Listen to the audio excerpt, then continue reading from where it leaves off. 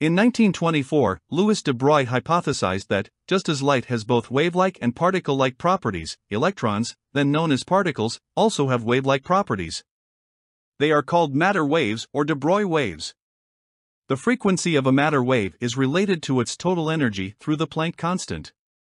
The de Broglie wavelength of a matter wave is related to its momentum through the Planck constant. These two equations are called the de Broglie relations.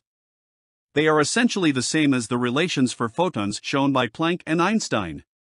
The de Broglie relations have since been shown to hold for all types of matter, that is, all matter exhibits properties of both particles and waves. It expresses the inability of the classical concepts, particle or wave, to fully describe the behaviors of quantum scale objects. This concept is known as wave particle duality. Here, I have an example of the calculation of de Broglie wavelength of an electron after acceleration by 10 kV voltage. First, calculate the speed of electron. The result is well below the speed of light, so the relativistic effect can be ignored. Then, the wavelength of electron can be calculated with de Broglie's relation.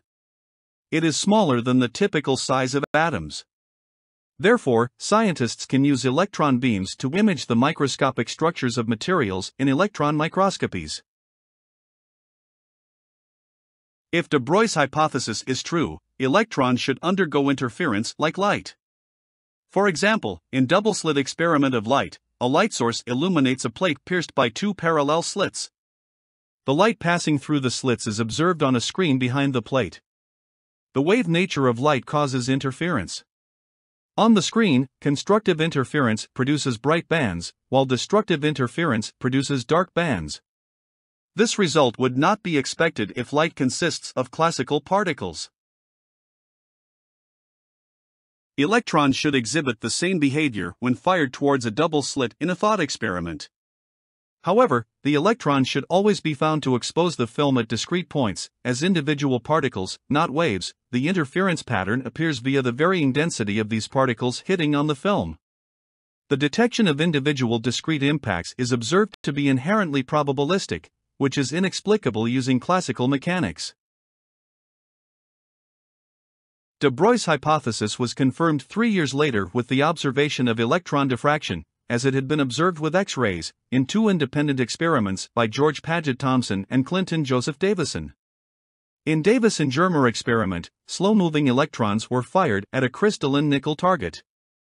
The angular dependence of the reflected electron intensity was measured and was determined to have the same diffraction pattern as those predicted by Bragg for X rays. This experiment confirmed the de Broglie hypothesis that matter has wave like behavior. In particular, the measured wavelength agreed well with de Broglie relation. Since 1960s, scientists have used low-energy electron diffraction to explore the crystal structures. The electron diffraction and the Compton scattering proved the wave-particle duality hypothesis, which was a fundamental step in quantum theory. Bohr's condition, that the angular momentum is an integer multiple of reduced Planck constant, was reinterpreted by de Broglie as a standing wave condition. A whole number of the electron's wavelengths must fit along the circumference of the electron's orbit. Thus, the electron's wavelength depends on the radius and quantum number. The angular momentum is the momentum multiplied by radius, while the momentum is calculated with the de Broglie relation. The result is the Bohr's second postulate. Pay attention to the fact that Bohr's model gives incorrect relationship between angular momentum and energy from experiment. So, Bohr's model is often referred to as the old quantum theory. The problem was solved by Werner Heisenberg and Erwin Schrödinger using a new theory, the quantum mechanics.